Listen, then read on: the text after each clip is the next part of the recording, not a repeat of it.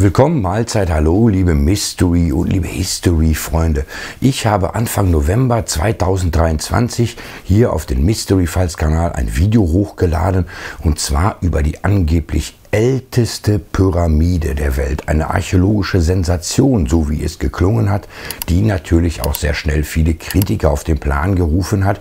Aber ich fasse es noch einmal hier kurz zusammen und das Video, das entsprechende Video vom November 23 werde ich euch unten in der Beschreibung mal verlinken. Da gehe ich ein bisschen umfangreicher darauf ein. Aber worum ging es? Nun, es geht um einen Berg, nennen wir ihn mal so, und zwar auf Westjava in Indonesien. Der nennt sich Gunung Pat Gang.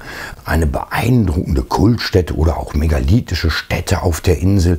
Dieser Berg, diese Struktur dort hat fünf Terrassen, reicht rund 100 Meter in die Höhe und das alles sieht sehr künstlich erschaffen aus. Mit Treppen, mit Stufen, die diese einzelnen Ebenen verbinden. Und in der Mitte dieses Berges ist ein vulkanischer Hügel, der diente mehr oder weniger so als Grundgerüst für diese darauf errichtete Stufenpyramide oder Terrassenstruktur. Das ist sehr ähnlich auch in Ägypten zu finden, bei der weltberühmten Cheops-Pyramide. Sie hat auch einen Felsenkern, wo diese Pyramide draufgesetzt wurde. Das soll auch hier der Fall gewesen sein. Und diese Stätte ist schon sehr lange in der Diskussion und auch in der Spekulation, da offensichtlich dort auch Stützmauern zu finden sind und unzählige Megalithen, sechseckige Säulen, die so bis zu 300 Kilo wiegen, stehen oben drauf und auch auf anderen Terrassen und auch einige sind runtergefallen gefallen, überall so verstreut. Erst 1891 hat der niederländische Historiker Rogier Verbeek oder Rogier, ich weiß nicht, wie man ihn ausspricht, aber diese Städte mal kurz erwähnt und dann wurde es sehr still um diese Ruinenstädte bis zum Jahre 1979. Da hat die lokale Bevölkerung, die dort lebt in Indonesien, mal so die Öffentlichkeit auf diese Struktur, auf dieses Stufengebilde oder auf diese Stufenpyramide wie ihr es nehmen möchtet, darauf aufmerksam gemacht. Und so ab Anfang der 1980er Jahre gab es dann erste Renovierungen, Ausgrabungen, archäologische Forschung, Datierungen und natürlich auch Spekulationen. Und das rückte auch mehr und mehr in den Fokus der alternativen Historiker, wenn wir es so ausdrücken möchten.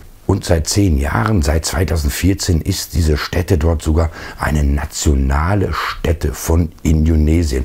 Und hier ist es erstmal sehr erstaunlich, wenn man das auch in den vergangenen Jahrzehnten immer mal so beobachtet hat, diese, dieses Objekt dort, diese Stätte, diese Pyramide.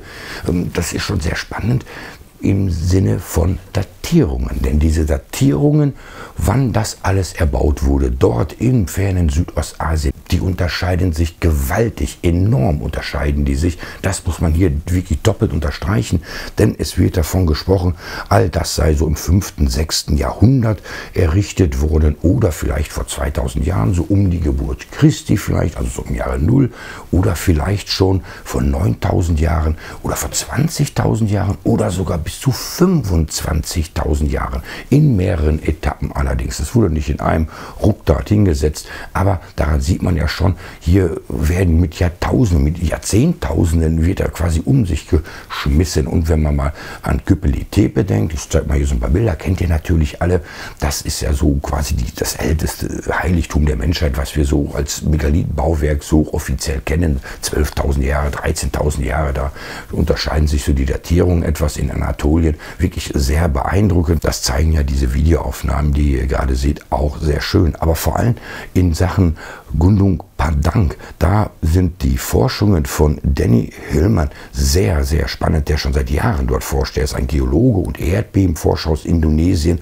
Und er hat schon vor elf Jahren, 2013 genauer gesagt, auf C14-Datierungen hingewiesen, also Radiokarbon-Datierungen, die sagen, das alles sei vor 20.000 Jahren hier in Indonesien errichtet worden. Ein Zitat von ihm, das wird immer wieder angeführt, auch in der Literatur über ähm, alternative Geschichtsschreibung. Da heißt es dann immer ganz gerne, klingt verrückt, aber die Daten sehen nun mal so aus. Und die Kritiker haben schon damals gesagt, ach, das ist alles Spinnerei, Fantasterei, diese Radiokarbon-Datierungen, die seien mehr oder weniger aus den Fingern gesogen oder schlampig wären diese Proben genommen worden, dann schlampig analysiert worden und das alles sei mehr Fantasie als tatsächlich Archäologie. Der Archäologe Perez Garcia, der hat sogar beispielsweise 2017 in einem umfassenden Bericht über diese Ruinenstätte geschrieben, das sei alles völlig aus dem Zusammenhang gerissen und sei Pseudoarchäologie. Aber im Oktober letzten Jahres, im Oktober 2023, hat das Team um, um Hillmann mal ihre ganzen Ergebnisse zusammengefasst und in einer sehr, sehr umfangreichen Studie publiziert. All das findet ihr unten in der Beschreibung verlinkt und sie sind ganz sicher sicher neben den Radiokarbondatierungen und Bodenradar, Probebohrungen, elektrische Widerstandsmessungen, Endotomographie und all das, seien Sie sicher, hier ist die älteste Stufenpyramide der Welt und das sei in mehreren Etappen über viele Jahrtausende errichtet worden und ursprünglich gehe das 20.000 Jahre zurück oder sogar 25.000 Jahre. Und diese Studie, als sie dann publiziert wurde, deshalb machte ich damals dann auch dieses besagte Video, was ihr halt unten verlinkt äh, finde, vor vorfinden werdet, da kamen dann sehr schnell die Kritiker und Skeptiker und sagten genau das Gleiche wie seit Jahren. Der fantasiert sich da was zurecht. Das ist doch Blödsinn. Es gibt da überhaupt keine Spuren einer solchen Zivilisation, einer solchen Hochkultur vor 20.000 Jahren, sagen wir einfach mal so. Ähm, da hätten diese Menschen, die dort lebten, in diesem Gebiet noch in Höhlen gewohnt. Es gibt keine Steinmetzarbeiten, die so quasi mehr oder weniger typisch sind für eine Hochkultur, die so etwas hätte errichten können. Und deshalb ähm, hätten die sich das alle aus den Fingern gesogen oder haben halt tatsächlich, wie gesagt, schlampig gearbeitet. Aber diese Studie wurde tatsächlich publiziert in einem anerkannten Magazin. Ich glaube, sie ist sogar 100 Seiten lang. Haben so ein paar Ausschnitte, zeige ich ja hier mal und Bilder aus dieser Studie. Nicht diese ganzen 100 Seiten, wäre ein bisschen zu viel. Aber diese Studie, als sie publiziert wurde, hat dann viele Kritiker auch anonym auf den Plan gerufen. Und so hat sich dieses Fachmagazin und der Herausgeber dieses Fachmagazins einfach mal dieses, diesen Untersuchungsbericht noch einmal vorgenommen und haben ihn nun offiziell wieder zurückgezogen. Ich zeige mal, so sieht dieses äh, Statement da aus. Eine gute kleine Erklärung nur. Aber dieser Artikel vom 20. Oktober 23 hätte halt große Fehler aufgewiesen, die damals übersehen wurden. Und zwar eben diese Radiokarbon-Datierungen, diese C14-Datierungen von den Bodenproben. Da heißt es zum Beispiel, diese Datierungen wären angewandt worden auf Bodenproben, die nicht mit Artefakten oder Merkmalen in Verbindung gebracht wurden, die zuverlässig als anthropogen oder von Menschenhand interpretiert werden konnten. Also ganz klar, demnach sei die Datierung als erste Pyramide dieses Planeten rundum schlichtweg falsch. Die Proben wurden aus Erdschichten genommen, in denen es überhaupt keine Spuren gibt von menschlicher Bearbeitung oder auch menschliche Artefakte. Das heißt also, wenn ihr mal so in euren Garten geht oder so und ihr bohrt mal irgendwie so ein paar Meter in die Erde hinein, nimmt dann eine Bodenprobe, lasst dort eine, wenn organisches Material drin ist, eine Radiokarbondatierung anfertigen und da kommt dann raus, 30.000 Jahre alt ist diese Bodenschicht, wo ihr hineingebohrt habt. Und dann könnt ihr natürlich nicht sagen, wenn da keine menschlichen Artefakte sind, hier haben vor 30.000 Jahren in meinem Garten schon Menschen gelebt.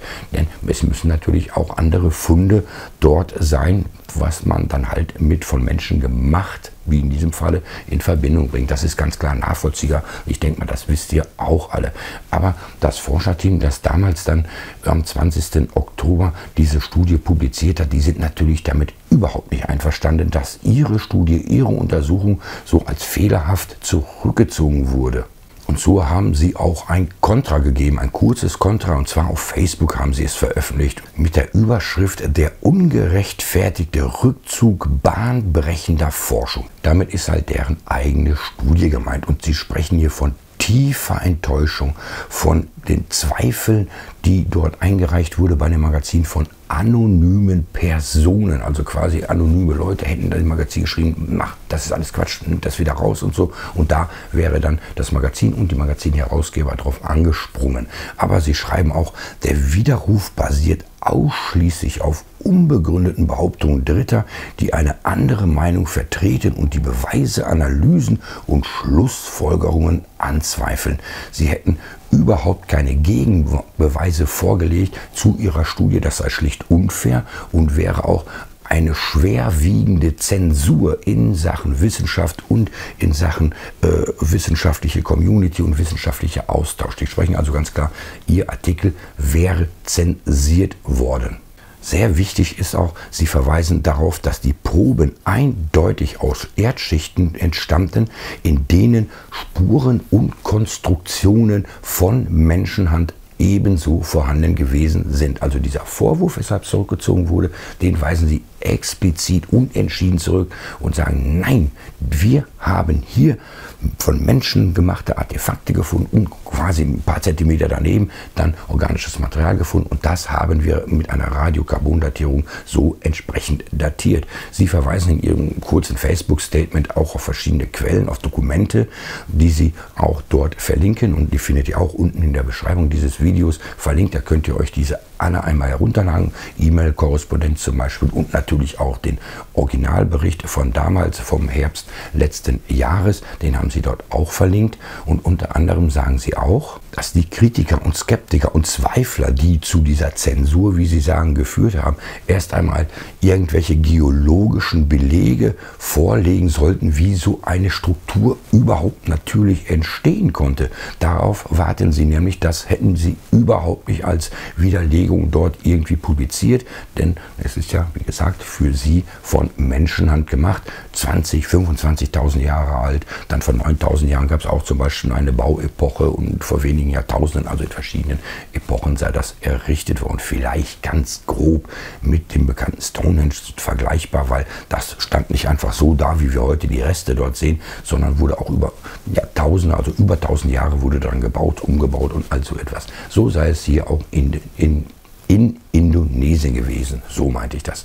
Aber natürlich wird jetzt dieser Streit wahrscheinlich in die nächste Runde gehen. Ich sagte damals schon im ersten Video, warten wir mal, bis die Kritiker kommen und darauf anspringen, weil es ist ja überhaupt nicht bekannt, dass in Indonesien irgendwann einmal vor Zehntausenden von Jahren eine Hochkultur existierte, die die erste Stufenpyramide der Welt dahin pflanzte und die dann heute spurlos, also wirklich absolut spurlos verschwunden ist. Und so warten wir mal die nächsten Monate und Wochen ab, ob es noch weitere Statements gibt, weitere Analysen oder Belege, außer die ich unten verlinkt habe, halt ähm, weiter vorgelegt werden. Und so wird die Diskussion um eine versunkene Kultur in Südostasien wohl noch wahrscheinlich sogar die nächsten Jahre ins Land ziehen und immer wieder Pro und Contra sich abwechseln. Was natürlich sehr spannend ist. Das ist ja das an den Rätseln der Archäologie, Rätsel der Geschichte, Mystery Files. Hier wird das eine so interpretiert. Kritiker sagen, nein, das ist alles Quatsch und Blödsinn, was du da redest und irgendwie Bullshit.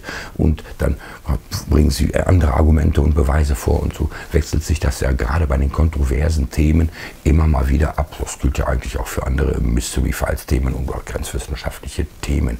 Ja, überaus interessant, wie ich finde. Ich habe darauf gewartet, ob irgendwann diese Studie zurückgezogen wird oder mal eine Gegendarstellung publiziert wird. Und jetzt ist es halt soweit gewesen in diesem Monat.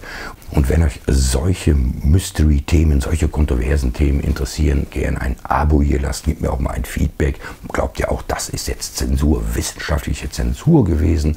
Und lasst auch gerne einen großen, dicken Daumen nach oben hier für dieses Video. Dann sage ich mal, ciao, tschüss, bis zum nächsten Video. Euer Lars.